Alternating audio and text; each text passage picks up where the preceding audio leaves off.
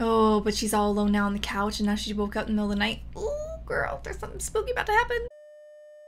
What's up, Rad Fam? I'm back again with another scary Ask Reddit thread, and today we are going to go explore some of the scariest, most unexplainable, paranormal perhaps, events people have claimed to have happened to them in their real lives.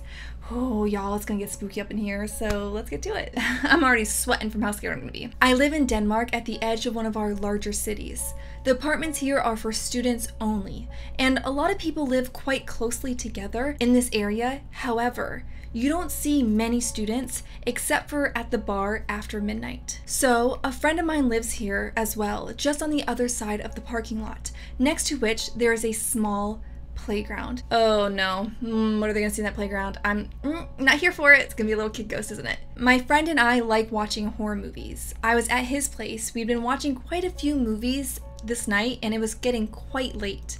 I think it was around 3 a.m. Oh, the witching hour. Mm-mm. Okay, this is like the perfect recipe for some paranormal ish happening. And I was going to go home and go to bed, which would have been the smart thing to do. Or actually not, probably just staying in that apartment and just like sleeping it off there. To add to the following, I'd never been too comfortable in darkness, and watching horror movies doesn't necessarily help. Furthermore, for some reason, there is quite often some issues with some of the lampposts here, so that some areas will be completely unlit. So they had to walk in pitch black darkness to get back to their apartment. But what's worse, walking back to your apartment through the courtyard in complete uniform darkness so you know your eyes could like adjust to it so I think you would see better or walking and then there's like maybe one or two lamps that are like flickering on and off and then as you walk under it it goes off. Now I'm walking home like I said around 3 a.m. and naturally the light is out at the parking lot next to the playground area. Oh no.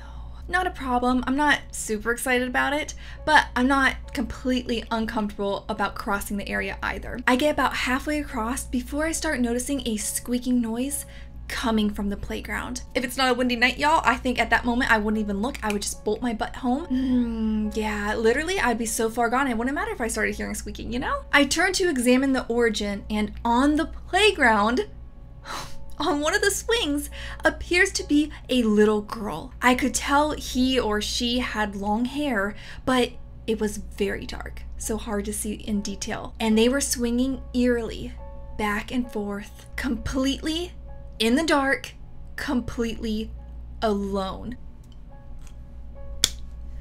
I'm not a religious person, but at this point, I think, um, you know, I would start reciting whatever prayer came to my mind. Because why would a kid be there in the middle of the night by themselves, being all creepy on a playground? Yeah, no, mm, I'm gonna like run home. But then, of course, like once I got home, I think I'd probably try to like maybe call the building manager or I don't know, try to call somebody that maybe could go check it out. If that is a kid, they should not be out alone in the middle of the night in the darkness by themselves at 3 a.m. That, that's dangerous. So I feel like I would want to help the kid, but I'd also want to get very, very far away from the kid in case it's a little creepy, you know what I'm saying? Because if they're just swinging in the dark, that's that's unsettling. I went straight home and called up my friend whose place I had just left, and I called them on Skype. And I told him what I just saw. He had a window overlooking that playground and was, of course, intrigued. So he left the computer for a second to have a glance outside.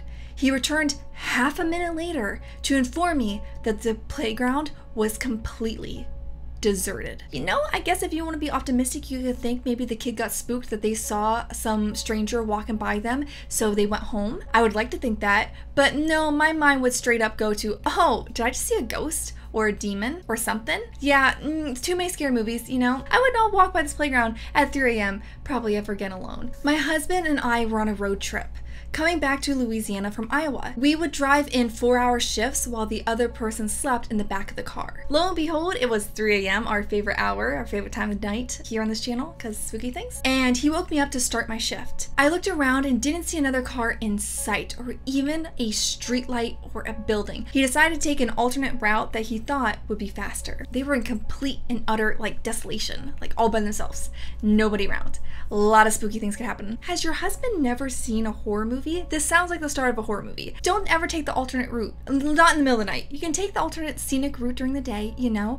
Never at night. Never last minute without talking to someone. This is how you get lost. This is how you end up in like the boondocks with like the hills have eyes type situation. Finally, we come across a small local gas station with a single light on. Again, This is literally the setup of a horror movie. It was closed, of course, and our car was the only one there. We pull over, and as I'm getting out to open the car door so we can switch places, my husband tells me to hold on. Oh? I look up from behind the back of the gas station. A man wearing rags was shambling towards us quickly. Not quite running, which made it even scarier because it was in a zombie esque way. I told my husband to hurry and drive away. He was intrigued though, so of course, he didn't listen. He just stared ahead as the guy got closer and closer to us. I started freaking out and screaming for him to go until he finally listened and did. Yeah, I'd literally probably be screaming. Especially if you just woke up, I'm sure you're gonna be even more on edge than like normal, so like you wouldn't really be thinking of helping somebody, and it's not like he's calling out for help. As he drove away, I looked behind us until the gas station disappeared. As far as I could see, this man I don't know why it's in quotes, followed the car at the same odd pace he was walking at until I could no longer see him. It still gives me the chills thinking about it. Oh, girl, it gives me the chills too. I guess like the situation would be ter very terrifying. You're in the middle of nowhere where'd this person come from? There's no car. He's in rags. That part of the story, him being in rags, makes me think he needs help. Like, was he on a hike or a camping trip and something bad happened to him and that's why he doesn't have a car and maybe he can't talk because he's so dehydrated and like he was screaming. You know what I mean? I would personally like call the cops for like a welfare check because obviously something can't quite be right with this person. Maybe they're intoxicated or under the influence of some drugs or maybe needs help. Uh, I mean, it's very creepy that he followed your car, but like also really sad the idea he might need help Now, on to the last Reddit comment we were going to read today, and I didn't say it earlier, but if you're new here, hi, hello, my name is Kaylena. Thank you so much for stopping by. I hope you join the Rad Fam by subscribing today. But whenever I do these videos or any video that's based off of something on the internet, as always, I will leave a link to this Reddit thread, which has so many more comments down in the video description box. So if you want to go explore this creepy thread, you can certainly go do that. But this is the last one we are going to read in this video, and it is quite long and apparently quite terrifying. It was my first semester of college and I was in a relationship with one of my best friends from high school. I used to spend the night over at his house a lot, which his mom was not too fond of, but I did anyways. Let's call him Manny. Well, one night I'm at his house and he wakes up around 4 in the morning, which hey, can still be considered the witching hour depending on which source you get it from. I'm not very happy as I hate being woken up, but he asked me to lay down on his sofa on the other side of the room so his mom wouldn't see me if she happened to open the door because she leaves for work about 4:30 in the morning. I immediately move to the sofa and fall back asleep, but wake up not too long afterwards because it was so darn uncomfortable. I try to reach for my phone so I can use the flashlight to get around and find my glasses, but it's dark and I can't find them. Oh, but she's all alone now on the couch and now she woke up in the middle of the night. Ooh girl, there's something spooky about to happen. I look at the alarm clock on the desk and it's about 5.30 in the morning. Now this is when things get weird. I look up and I see my boyfriend at the time laying awake on the bed. He was laying on his back and playing with his phone. Even though it was dark, I could tell because he had his glasses on and the light from his phone was shining on his face, reflecting off his glasses. That's very specific. Why? Manny, can I come back to bed now? He leans up a little bit, looks at me, lays back down, and looks back at his phone without saying a word to me. Okay, that's weird. Why? That's weird. Manny, this really isn't comfortable. Can you please check to see if your mom left? He leans up a little, looks at me again, then lays back down and looks back at his phone without saying another word again. I'm just getting my butt up and going back. I don't care. Forget you. It's 5:30 in the morning. You're not answering me. You're being weird. I'm just going to come back to bed, you know? Manny, can you please get up? He leans up a little and repeats the exact same thing over again. Okay, this is weird. See an alien? What's happening? Are you stuck in like a glitch? When I find my glasses, I'm going over there and I'm gonna kick your butt. I try to search for where I might have kicked my phone and my glasses for a few minutes and have no luck. So I look back up to my boyfriend to ask for help. Manny, can you? I froze. When I look back up, there is no one there. I try not to panic panic a lot, and frantically look for my glasses and phone with no luck. I sat by the closet and started to shrivel. My boyfriend comes in a few minutes later and asks me why I'm by the closet. He turns on the light and immediately asks me what's wrong when he saw my face. Manny, you were here a few minutes ago, right? He tells me no, he's been in the kitchen talking and having breakfast with his mom for the past hour.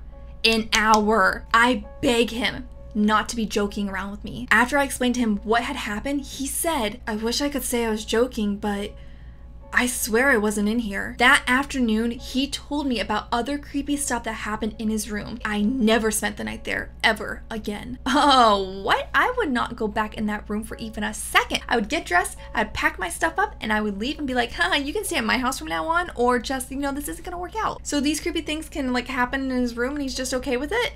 No. And he didn't tell you beforehand? That's that's a bad boyfriend. You know, like sometimes when you wake up in the middle of the night, or like when you first wake up in the morning, like your sense of time isn't accurate. Have you ever woken up and it felt like you just closed your eyes for a second and then you wake back up and it's been like 10 minutes or like an hour later? So you could say maybe something like that happened to her and she wasn't realizing it. Maybe she like dreamt that she was saying the things to him, but really she just like opened her eyes and saw he was on his phone and she fell back asleep. So like you could try to rationally explain it or also say some paranormal ish is happening in this house and you know just never go back ever again. That is really creepy though because like what did she see if he wasn't there and the thing wasn't responding to her? Why did it look like him? Or did it not actually look like him because she didn't have her glasses on so she didn't clearly see what she saw? But I think that does it for today's deep dive into the scary Reddit thread. I hope you guys liked this video and if you did please give it a big thumbs up so I know if you liked it and want to see more scary Reddit threads. And if you haven't yet seen it, yesterday I posted another scary deep dive into a different Reddit thread. So if you want to see scary camping stories.